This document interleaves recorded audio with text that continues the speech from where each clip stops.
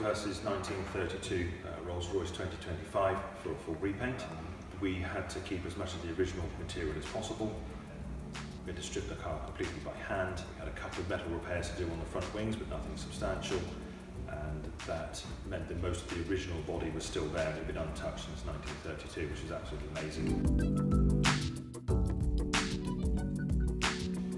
A couple of things, uh, challenges we had along the way, um, some extras that the client put in there for us to do was some restoration to the woodwork uh, on the interior of the car. So this was door cappings, window surrounds, um, and the top section of the dashboard.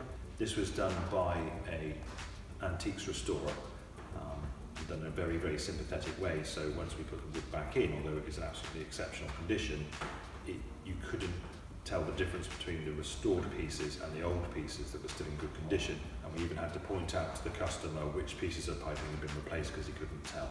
That's something we're always striving to deliver, um, is the great customer satisfaction. You know, they have to look to the details so they can't even see where we've been. You know, his car looked almost brand new again, but there was still enough of the original material there for him to know that it was still his car he was getting back.